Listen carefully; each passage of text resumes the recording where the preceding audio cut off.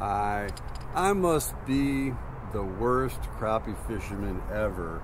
Uh, but praise the Lord Jesus, who said that he who gathered little did not have too little, and he who gathered much did not have too much.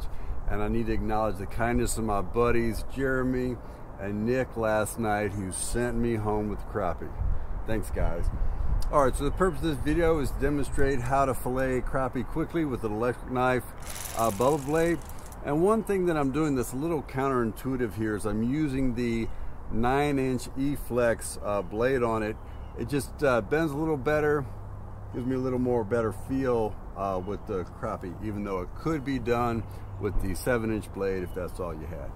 There is a Redeemer, Jesus, God's own Son, precious Lamb of God, Messiah, Holy One.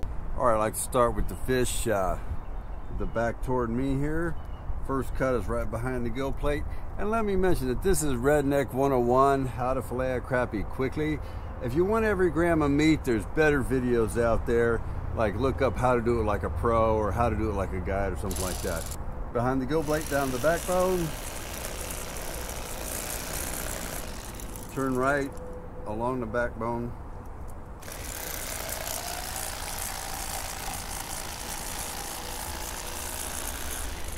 Leave a little skin tag here, flip it over. Now this part, this next cut, you want to keep the knife parallel to the cutting surface so the handle of the knife needs to be off the cutting surface.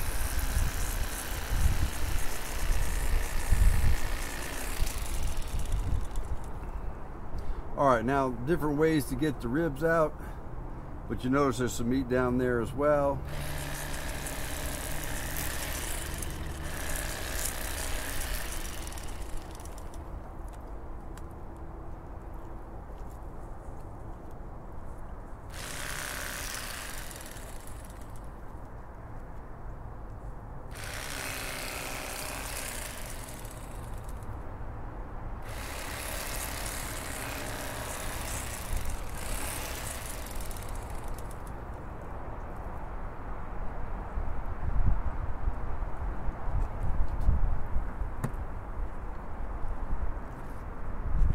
Now the second side, I use a cross-handed technique because I strongly prefer to have the dorsal fin uh, facing me.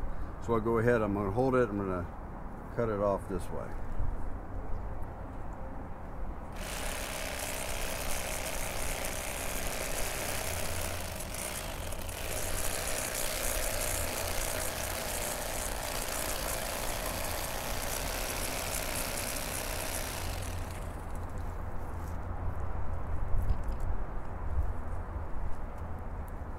Same as uh, last time, leave a skin tag attached so you don't have to grab it with anything.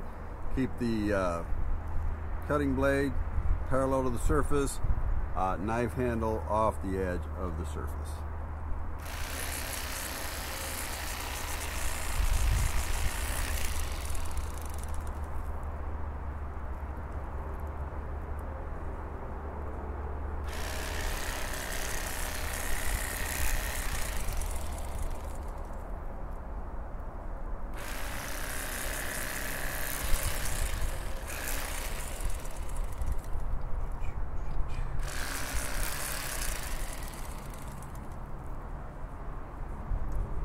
All right, two very nice uh, crappie fillets.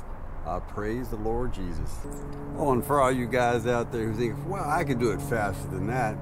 Of course you can. When you're not explaining how to do something, you should be able to do it faster.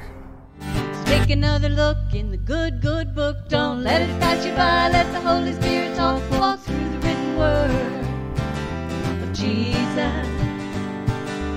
Take another look in the good, good book. Don't let it pass you by. Let the Holy Spirit talk. Walk through